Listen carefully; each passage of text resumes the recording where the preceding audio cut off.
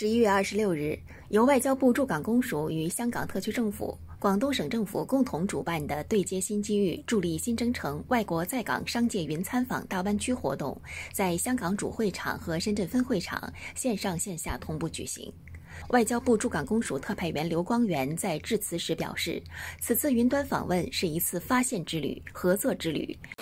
Through this activity, we wish to open a window from which you can have a panoramic view of China's progress. First,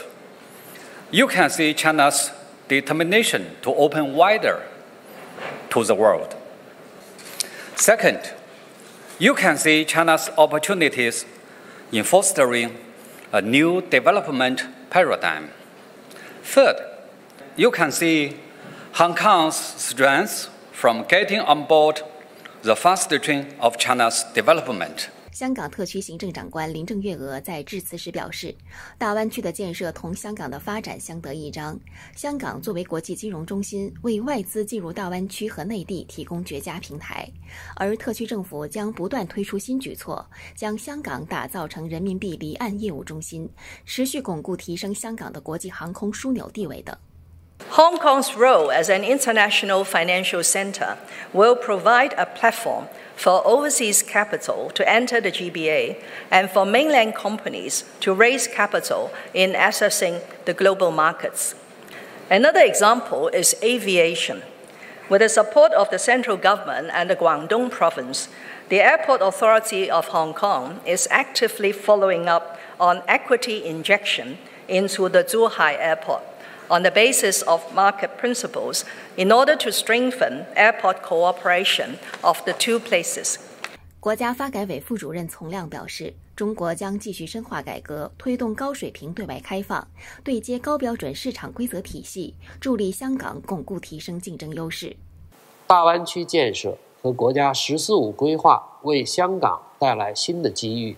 未来香港的地位和作用只会加强，不会减弱。在全球疫情起伏不定、世界经济艰难复苏的大背景下，中国仍然是值得信任的投资沃土。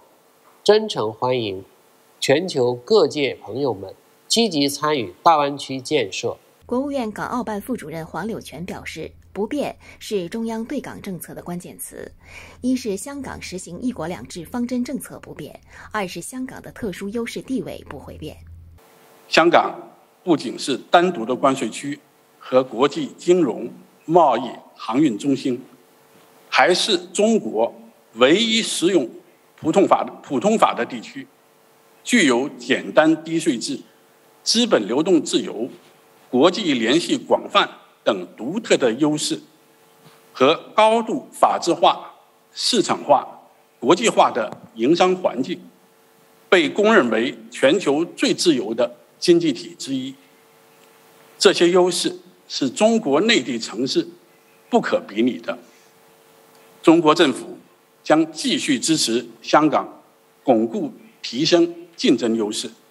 助力国家全面开放。外交部部长助理吴江浩在致辞时表示：“服务国家改革发展是外交工作的重要使命，为粤港澳大湾区建设提供外交助力是外交部的重要职责，将发挥优势为大湾区的发展助力。我们将继续充分发挥外交优势，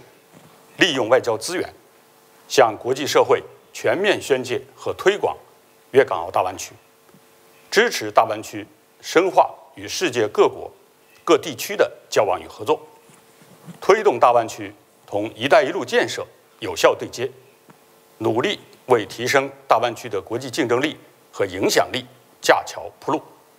当天，多位负责大湾区事务的主要政府官员、大湾区知名企业代表、外国在港商会、香港本地商会以及企业负责人等约百名代表出席会议，数百名外国在港企业代表云端参会，就粤港澳大湾区的建设与商机等问题展开交流探讨。